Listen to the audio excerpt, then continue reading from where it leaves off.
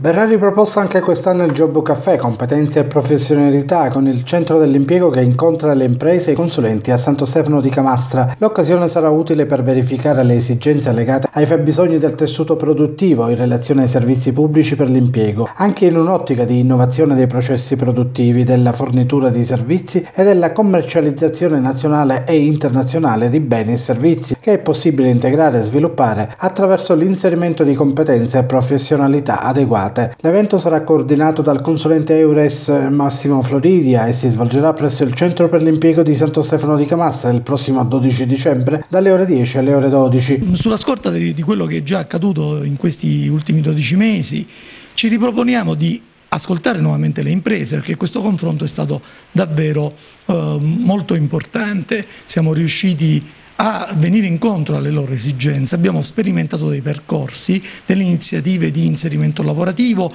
che poi hanno visto contrattualizzare le persone coinvolte. Abbiamo in estate eh, sperimentato per la prima volta il tirocinio estivo, per esempio delle, de, anche dei minori e eh, adesso questo strumento